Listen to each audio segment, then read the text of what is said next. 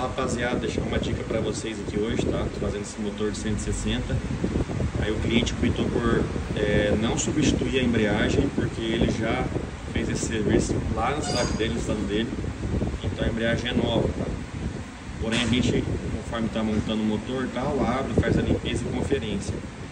Uma dica, quando o mecânico vai trocar a sua embreagem de 3 molas para de 4, Geralmente eles costumam pegar três molas da 160 e pôr aqui nessa embreagem de quatro molas.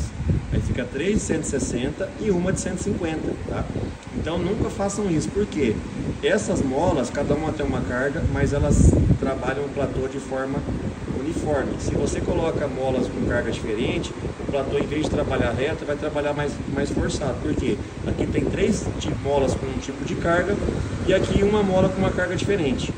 Então isso vai fazer com que essa embreagem ela fique com desgaste em pontos diferentes, tá? E às vezes a moto fica até enforcada. Você está com a moto é, apertada na embreagem, a moto querendo andar sozinha.